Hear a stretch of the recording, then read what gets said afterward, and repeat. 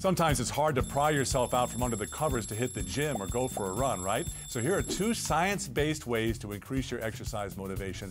I'm already using them. You start by telling yourself you only have to work out for seven minutes. And if you want to give up after that, give yourself permission, but you probably won't give up. That's because it only takes six minutes for your body's feel good endorphins to kick in once you start working out. That's according to exercise science instructors at Quincy College in Massachusetts.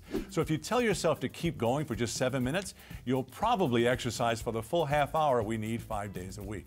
If you hit the gym after work, this trick may be good for you. Listen to your pumped up gym playlist on the way to the gym before you start exercising. It stimulates the brain's hippocampus, which is where we store our memories. And because you're used to hearing those songs when you work out, it primes you to get in an exercise mood.